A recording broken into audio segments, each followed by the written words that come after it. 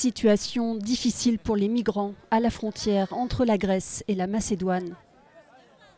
Depuis mercredi, les autorités macédoniennes ont commencé à restreindre l'accès à leur territoire aux seuls ressortissants irakiens, afghans et syriens.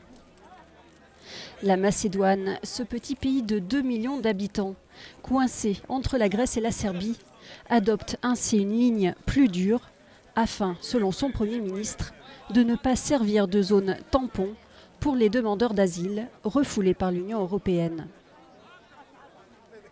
Résultat, des milliers de personnes brandissent leurs attestations prouvant leur appartenance à un pays en guerre, tandis qu'un important groupe de Bangladais crie son désespoir de ne pouvoir continuer la route.